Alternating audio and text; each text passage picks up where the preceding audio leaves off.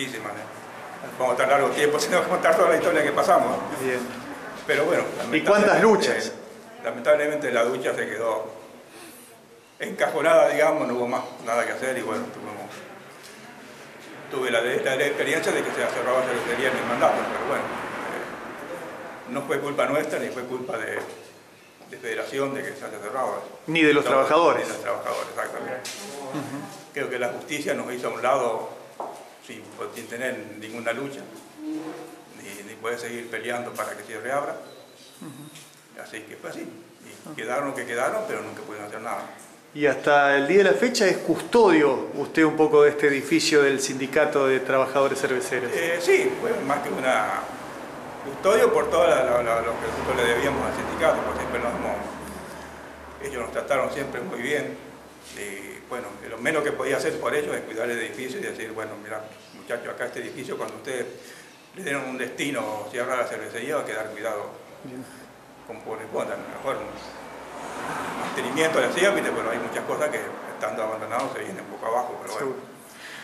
Bueno, y ahí empieza a trabajar la comuna con toda la comisión, destacaban el trabajo este, Santiago, para recuperar un poco este edificio, apropiárselo en buen término dentro Sí, del marco legal, ¿para hacer qué? Mirá, cuando hace dos años comenzamos a charlar con, con Don Ocampo, eh, siempre vimos mucho potencial como equipo, eh, como equipo de, de gestión, vimos mucho potencial en este edificio porque es un edificio que tiene muchas eh, cualidades eh, edilicias, un edificio que está muy bien materializado constructivamente, un edificio que si bien le pasó mucho el tiempo, eh, es un edificio que se mantiene sólido y bueno, y la verdad que nosotros eh, como comunidad buscábamos tener la, la reapertura de este espacio como edificio en sí y, y bueno, y como propuestas también que desde, nuestro, desde nuestra gestión buscábamos, que es que este edificio eh, sea generador de propuestas, de alternativas.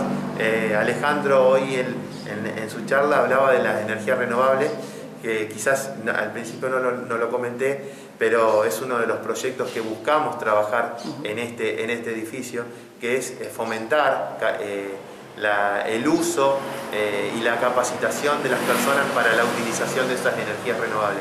Esa es una de las ideas, esa fue el, el primer, el- la, la- la primera eh, charla que tuvimos con Alejandro aquella vez eh, y después eh, trabajar socialmente, porque lo que buscamos con este edificio de alguna manera es que la localidad pueda apropiarse de- en el buen sentido y que este edificio sea generador de, de muchas propuestas y alternativas, eh, tanto educativas como sociales. ¿no? Muy bien. El comodato, ¿por qué cantidad de años es, eh, Florencia? ¿Cómo le va? Hola Freddy, ¿cómo estás? Muy bien.